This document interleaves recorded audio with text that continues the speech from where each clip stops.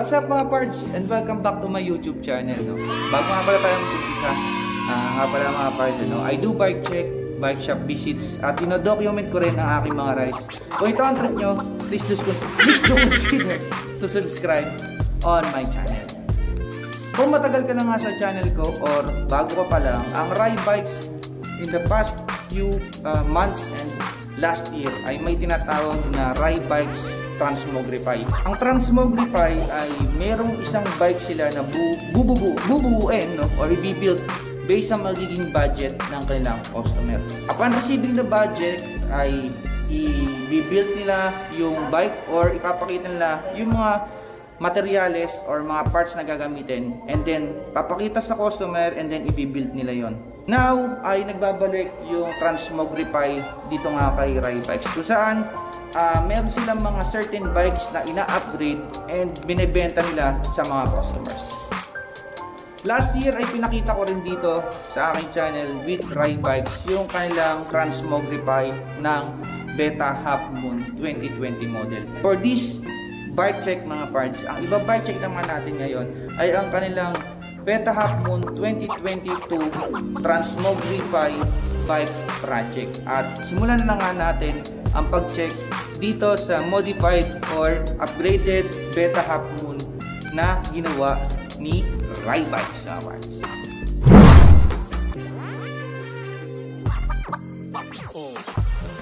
So ito nga mga parts, ang ginamit nila dito na model or yung in-upgrade nilang bike ay ang Beta Half Moon, yung kulay parang blue or gray, blue-gray. So ganun ko ma, ma mai-describe itong uh, bike na ito. Simulan natin sa cockpit set kung ano yung in-upgrade or ginawa ni Ride Bikes para sa Transmogrify project na ito.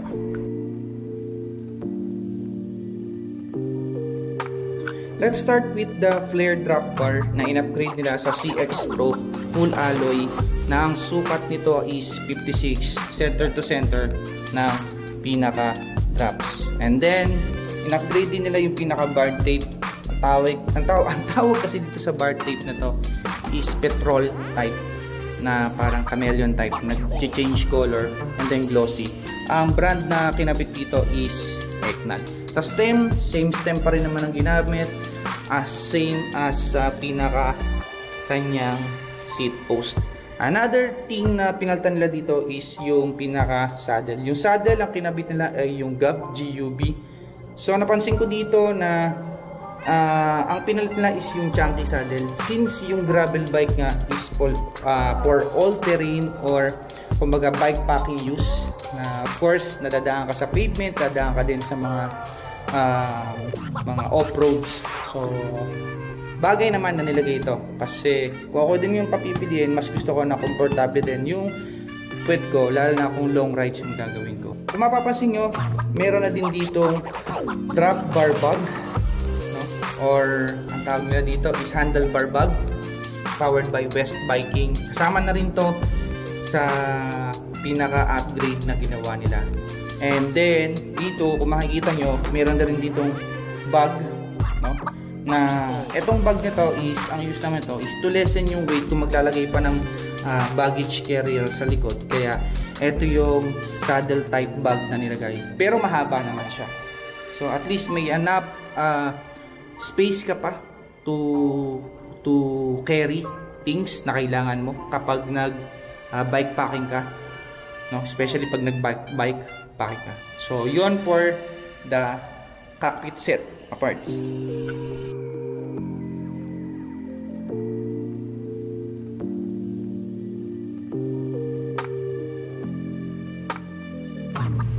for the drivetrain ang uh, ginamit ngayon dito for the drivetrain is Ferrino Fantasy so this is now powered by Ferrino Fantasy na naka 1 by 11 speed.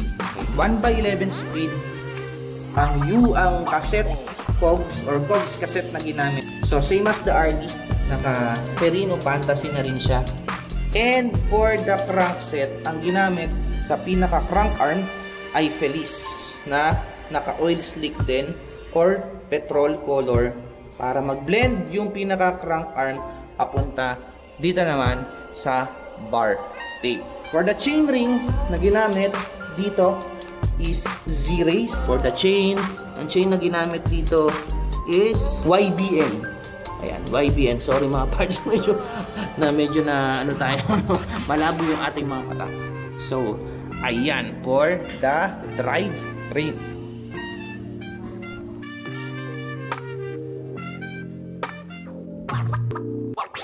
For the wheel set, ang binago lang naman dito mga parts is yung gulong. Ang ginamit nila is compass. Compass Saturn ring na ang size nito is 700 by 38C na gum wall na. So ayan, for the tires. Uh, ginawa nila na naka-skin wall to blend with the color of oil slick and gray blue. So at least hindi rin medyo dead yung color ng, ng bike mga parts. Ah, very nice. For the brake set, same calipers yung ginamit, full mechanical. Ayan, yung stock niya, Sukie, Sukie. Ang maganda lang dito, ang in-upgrade dito is yung kanyang rotors. Yung rotors nito, same pa rin, 160mm bolt type, pero Ultegra inspired yung rotor na ito. So, ang gandang tingnan. Ayan, harap siya likod, 160.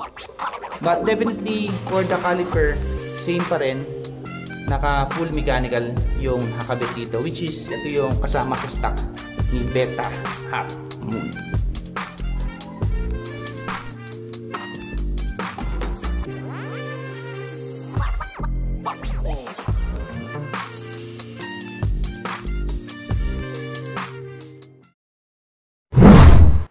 So mga parts, I may say na malaking bagay sa isang gravel bike na may maganda kang set of uh, drivetrain na nakakabit. No? Especially dito, dito, dito sa binay-check natin na naka 11 speed na siya.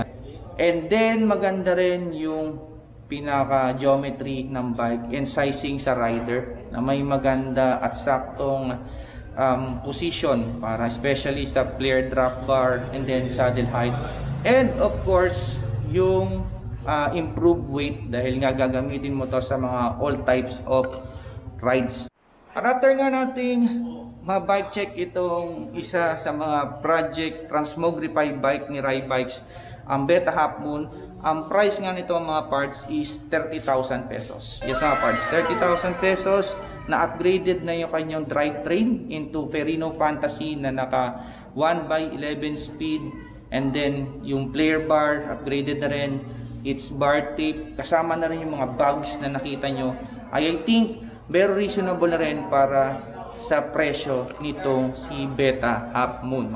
So hanggang dito na nga lang mga parts ang ating uh, vlog for the day at uh, makita-kits tayo sa mga susunod na nating videos. Always stay safe, ride safe at mag-ingat po tayong lahat.